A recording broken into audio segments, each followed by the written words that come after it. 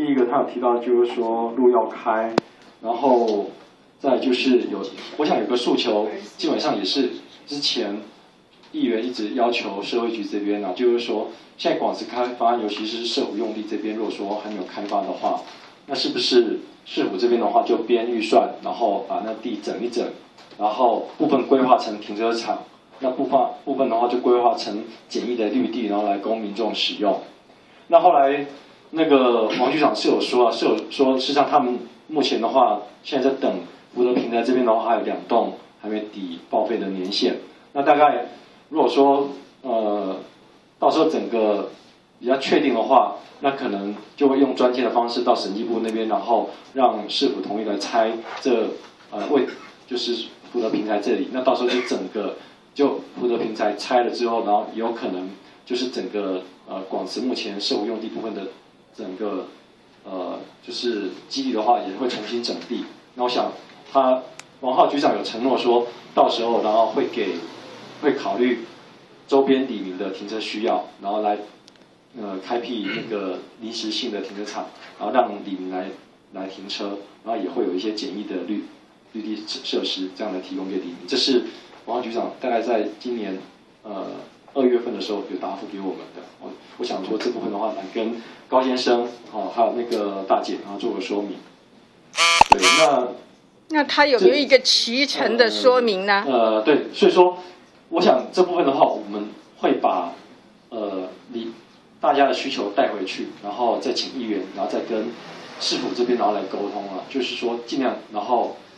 事实上整个还包括说设计神要走的时间也相当相当的长。哦，那是不是就赶快把地整一整？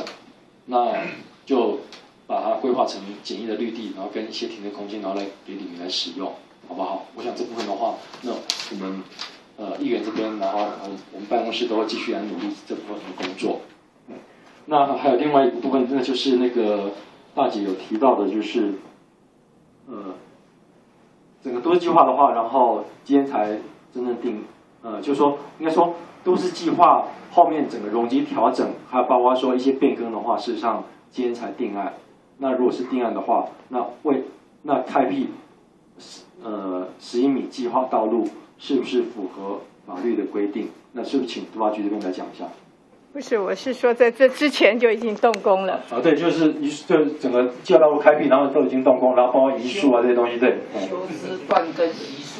是这个部分，杜发局再次补充说明，就是刚才我前面有有有提到的，因为那个都计划内容，大家可能因为有时候写的比较复杂，大家比较没有去看啊。可是我想，如果真的关心这个案子的，我也是不是希望请请各位乡亲，真的我们在这个案子其实都有把它放在我们都发局的网网站上。那其实大家真的如果有关心的话，其实可以先上去把这个计划书的内容稍微稍微看一下，可能就了解说，其实市政府目前它确实是依照都计划的的部分来进行，那我再稍微再说明详细一点，就是说我们这一次这个九十五年，刚才我提到的这个都计划，其实也已经把这个北侧的社福用地、南侧的这个公园、商业区以及中间的这个十一米的计划道路这个分区，就是把它。定了，就是说这个土地的它的未来怎么使用，它这个分区是定案的。那我们在一百零二年，呃，因为重新取回这个 BOT 这个结束以后，跟博德结束以后，市政府重新拿回来以后，这一次提的计划案其实。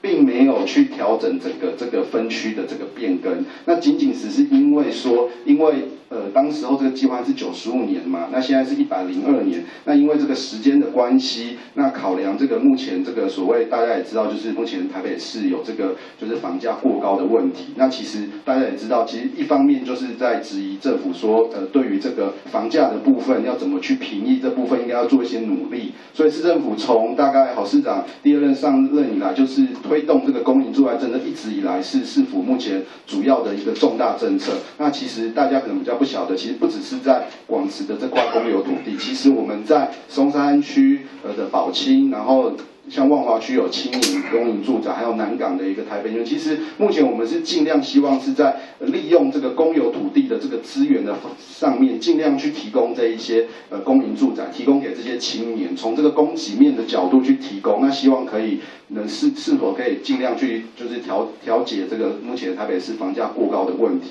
那也因此在这个部分，我要特别说明就是说。这一次一百零二年，我们提出的这个都交草案，其实没有去动到这个道路的。这个道路依照原来九十五年，它就是计划道路了，所以其实它是不影响的。今天的这个都计划变更案的的的过不过，只在于说北侧设服用地它的容积未来开发量是多少而已。对于这块计划道路是没有影响的。依照九十五年的计划，本来就该我刚刚一开始就说明，市政府就应该去编列预算来做一个开辟了。那我是在做这样的补充说明。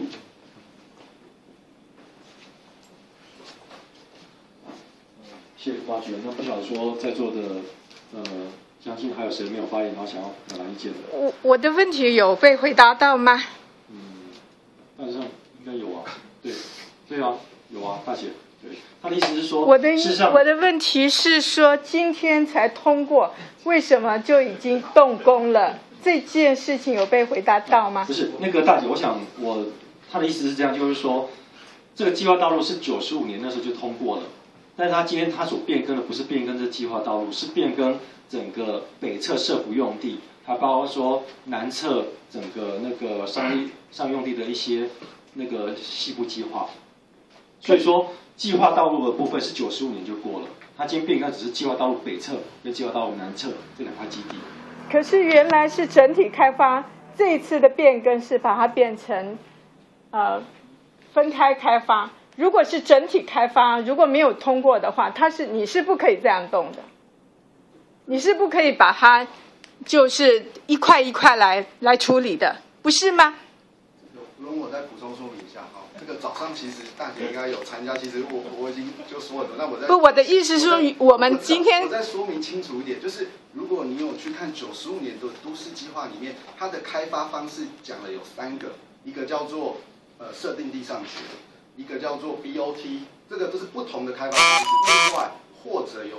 政府编列预算开辟，其实都市计划里面它是有三个选项的。那只是市政府在九十五年一开始采取的是叫做第二个选项，叫做 BOT 的整体开发。那后来因为 BOT 开发，如果说 BOT 开发顺利的话，其实也不会衍生这样的问题啦。那当然，因为事情总是有变化嘛，这也不是在我们市政府一开始的预测。如果当时候 BOT 顺顺利利的去成功，也不会衍生接下来的问题。那可惜的就是说这个 BOT 开发案不顺，所以市政府重新把这个 BOT 啊，因为 BOT 是委外的部分，那重新取回土地以后，刚才我讲了有三种模式。那与其这样的话，所以第三种模式叫做市政府编列预算来开辟。所以我们市政府当然可以依照都市计划里面的这一个选项的开发方式规定的，我们来做这样的处理。所以是，所以是不影响的。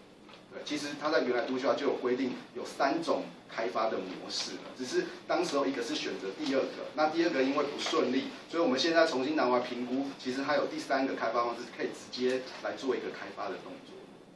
如果这样子做这样的说明。OK，那嗯，那接下来不晓得说还有哪位乡亲有什么问题？